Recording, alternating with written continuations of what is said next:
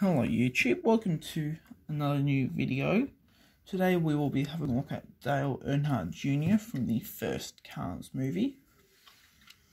So he is based off and voiced by the famous NASCAR driver Dale Earnhardt Jr., which should be quite obvious. But yes, we shall get right into it and have a look at his rev and have a look at his diecast, not his reviews. Sorry, I'm messing up my words a bit today. He's got the Dale Earnhardt Jr. logo on the hood and the Dale Earnhardt, Incorporated or whatever it is. He's got this. He's got the signature on the hood as well. He's got smile, the headlight stickers number eight and number eight here as well. Dale Earnhardt Jr. on the roof. And this is for uh, this arm, not too. It might be junior. Not too sure. Must it must be must be. Sorry, I'm missing up words today. I think it's supposed to be junior here. Then Dale Earnhardt Junior. You got eight.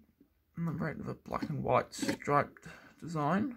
Dale Earnhardt signature gas cap exhausts black Lightyear tires with grey dark grey rims, and his contingency sponsors are the Piston Cup, Nitroade, revolving octane gain, Vitoline, mood springs, no stall, gaskets, Gasprin, easy idle, RPM, low torquey pistons, leakless, retread, and clutch aid.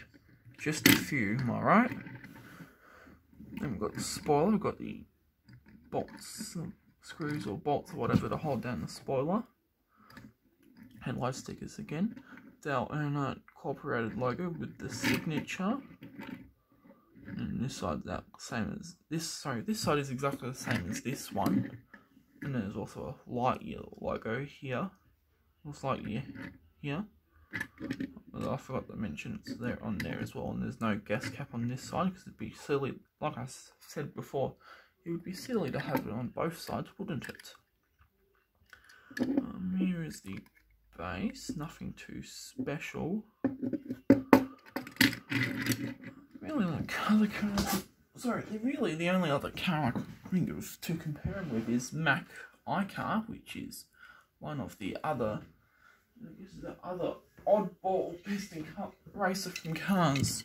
One, one doesn't really fit into the background characters or the main characters.